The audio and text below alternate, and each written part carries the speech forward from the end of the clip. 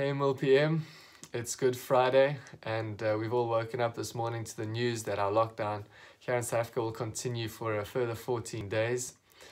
Uh, this means that we should now probably all accept that this is the new normal and as far as church is concerned, this is what church is going to look like for us.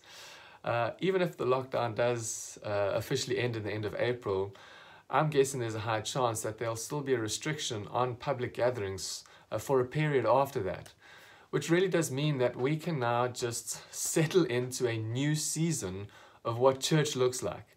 And uh, I'm actually really excited.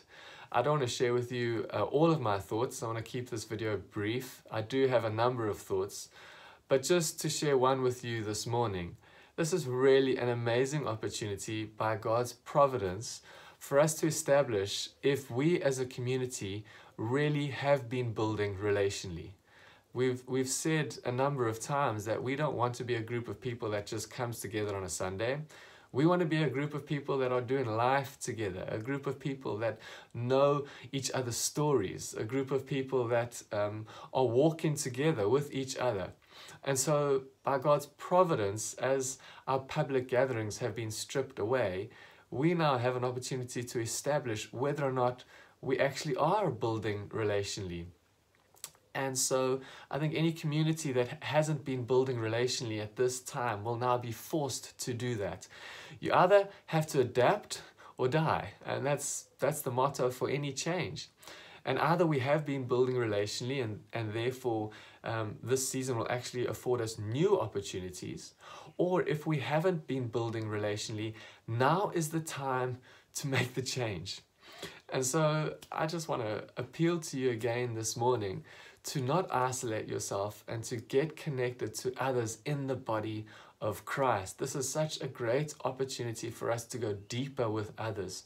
Our community groups are remaining to meet virtually and online. And uh, we need to continue to develop and foster friendships in the community and in the body of Christ. And so, yes, the new normal means that we possibly won't be able to have Sunday gatherings as soon as we were hoping. But this is a new opportunity for us to connect with each other, for us to find out how each other is doing. And so, as we go into the Easter weekend, I want to encourage you once again, as I did at the start of the lockdown period, to think of others in our community that you can be praying for and to reach out to them and to connect yourself to them especially if you're maybe new to the community and you were just doing the Get Connected course or you've been only visiting uh, MilPM for the, for the first few weeks before the shutdown period started. I'd love to help you find a way to get connected into a community group, to get connected into um, a friendship group of some kind. I've really been enjoying all of your replies back to these messages, so thank you so much. I've been loving the extra community element. And I really just want to encourage each and every one of us to remain relationally connected and to seize the opportunity that is right in front of us.